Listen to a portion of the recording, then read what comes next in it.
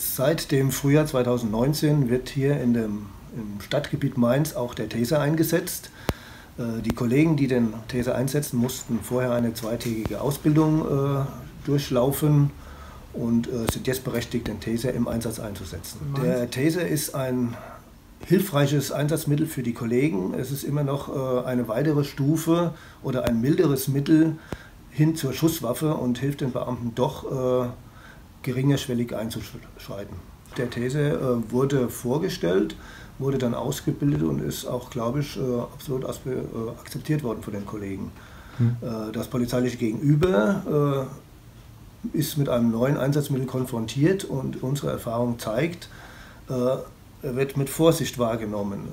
Gerade im Einsatzfall ist es so, dass meistens die Androhung schon reicht, um das polizeiliche Ziel zu erreichen. Und das ist, glaube ich, ein sehr gutes Zeichen. Also wenn man den Taser, äh, man kann ihn auslösen, ohne dass äh, irgendwie schon das Gegenüber was spürt. Er sieht nur Lichtblitze und auch ein unangenehmes Geräusch und das hat, zeigt die Erfahrung, auch bei dem Pilotprojekt in Trier, dass das schon reicht, um den polizeilichen Einsatzzweck zu erreichen. Wir haben äh, die Androhung des Tasers, wo wir nur auslösen. Dann haben wir noch den Kontaktmodus, bei dem der Taser direkt auf den Körper gedrückt wird und äh, ein direktes, absolutes Schmerzempfinden bei dem polizeilichen Gegenüber entwickelt.